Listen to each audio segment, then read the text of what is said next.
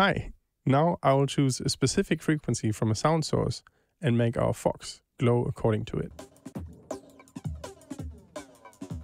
So with Unity open, the first thing that I will do is rearrange a little bit our views here. So I can actually see the editor view and the game view at the same time. Next, I will make a copy of our little fox and I will move that new fox over and I will move my camera. But before I rename that, there's a thing when I export OBJ files from Blender, they will always come in this form. They will always have a parent object and a child object. But the child object actually has the mesh renderer and the mesh filter on them. And those two components are what actually draw the mesh. When I switch this off, the fox is no longer drawn.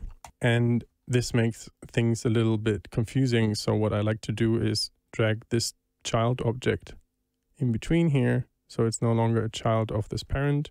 I can delete the parent now and I will rename this child object to glow fox. Next, let's actually create the material that glows for the fox. I go in here and the first thing, you guessed it, is create a folder called materials. Go in the folder, hit create and go to shader because we want to create a new shader graph and select PBR graph. And I will call this shader graph glow shader. And then I will right click this shader graph file before doing anything else, going to create and clicking material. And I will call this material glow material. Because the way this is set up is but you can use the same shader for different materials. It's a little bit confusing in the beginning. Don't worry, I mess it up a lot of times. And what I like to do then is drag this glow material onto our glow fox. By the way, let me rotate that back to zero so it stands upright again. Then I double click glow shader here and this is actually the output node of shader graph. So when I go in here where it says albedo and I change this to another color and I save this shader graph, this fox becomes red. So when you shine light on your object, gives you back that color. What we are actually interested in, oh, let me reset that to white and save the asset, is the emission because that is what actually makes the fox glow by itself, even if you don't shine light on it. Save the asset again and you will see that it slightly glows now in the dark. And the trick to make this a little bit more accessible now is to go on this little keyhole here, drag it out, and then add an emission node. Let me select the orange color again, and then we can set the emission intensity to something like 10. So now it glows much brighter. If we set this to 100, this is a glary fox now. So what we actually want to play with is this value now, but we cannot access this value from the inspector window yet. And this is what we need if we want to play with it with scripts. So what I have to do is make it an exposed property. Select this again, drag it out and search for vector one, pull this up, select like four here. This is just relaying the number at the moment. I right click that and I go to convert to property. And now this vector one shows up in my blackboard up here. And if I now save the asset, it actually becomes available down here at the material as a vector one. And if I now play with this number here, you can see that the, that the fox glows more or less, depending on the number that is in there. To make things less confusing, let me call this property by its name, which should be glow and I learned to put an underscore there. And what I also have to do, and this is a little bit special for shader graph, I have to give this reference a name. Otherwise, I will have to later work with this reference that's in here. So I like to just copy the name that I gave it just here and copy it into the reference. This is also glow underscore. Let's hit enter and save the asset. And now you see this name changed, but it's still working. Next, we want to actually add the component that we analyze the frequency with, and this is called PD frequency band bind.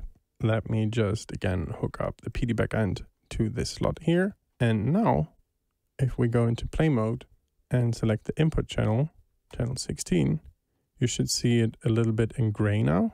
If we hit render, it gets drawn in white. This is actually the real-time frequency spectrum of my voice.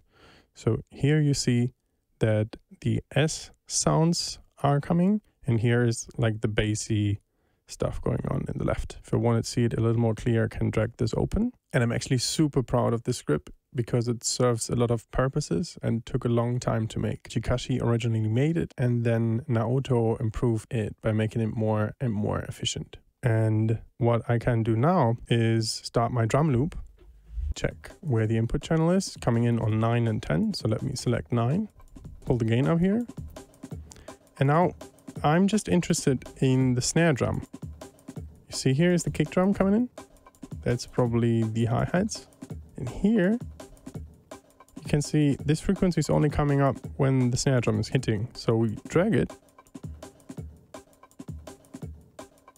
And we can actually just select the snare drum. So you can barely see the number move here now.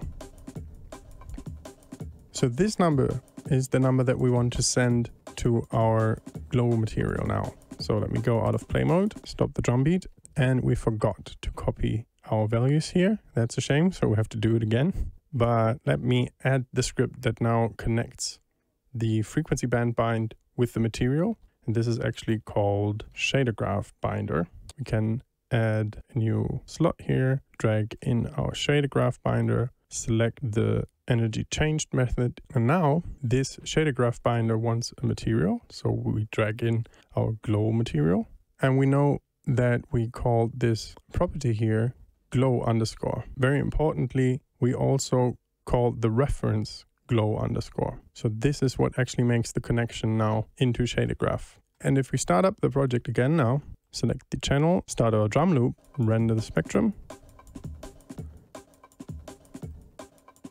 Can now actually really select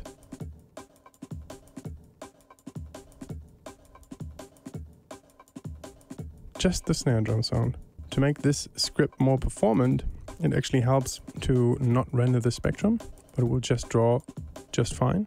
But the glow value is very jumpy right now. So what I want to do now is actually make the decay of the glow, so to speak, a little longer.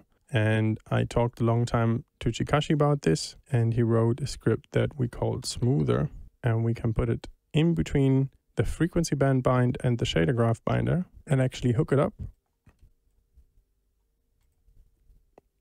select the smoother on value changed, and then select the output of the smoother and select shader graph binder, shader graph binder on energy changed method.